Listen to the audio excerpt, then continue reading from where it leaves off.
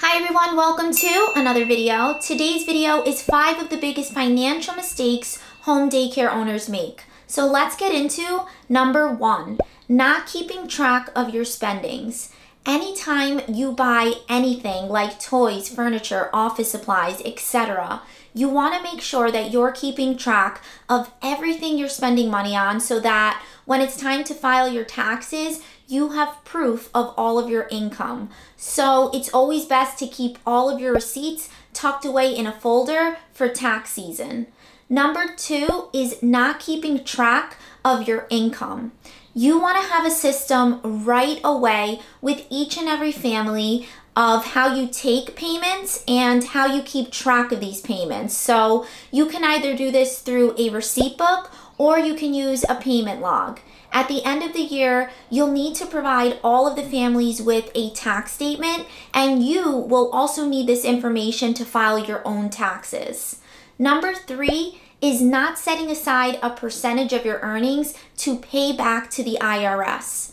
As daycare providers, we are required to pay back taxes to the IRS on everything that we've earned. So you'll want to find out right away with your state what your tax rate is and how you will be paying these taxes back. Typically, we can do this either weekly, monthly, or yearly. Number four is not setting your prices correctly. Every state and town has their own market rate.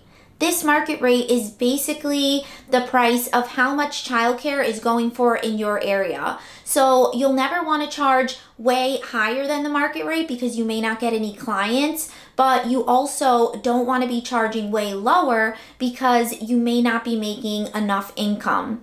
You'll also want to figure out what is typically included in daycare for the week in your town or area. So, do parents provide the food, the diapers, the wipes, or do you, the childcare provider, include those things? And this is so important because you never want to offer too much in your prices to where you aren't making enough back.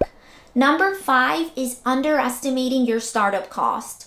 So typically there are trainings that we have to take, safety equipment that we'll need to buy like gates, smoke detectors, fire extinguishers, and then if you are in a state that requires you to pass a final inspection, you may need to make either minor or major renovations. So a minor renovation could be something like patching up a hole in one of your walls, whereas a major renovation could be building a fence around a pool.